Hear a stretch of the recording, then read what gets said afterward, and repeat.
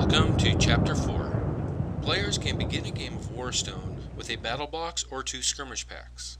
Experienced players can use custom decks. We will use the battle box for this demo.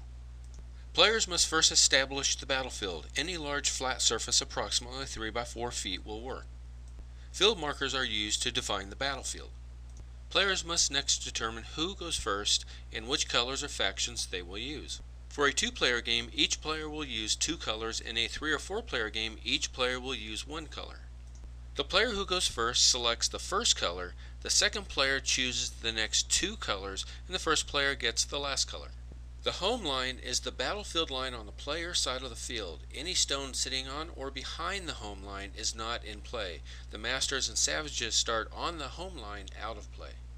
Decks are shuffled and players now place their core stones on the center line. Now that the battlefield is set up, the goal is simply use your shooting skills and card strategies and capture your opponent's stones by knocking them off or removing them from the battlefield. The battlefield is quartered when playing with three or four players. A Warstone game has five stages. Drawing cards, playing cards, attack,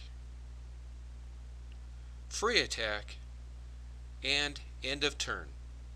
By the end of each turn, a player has picked up, discarded, and played a total of four cards from their deck and is left empty-handed for the next round. To help you understand the game, we will take you through one player round in Chapter 6.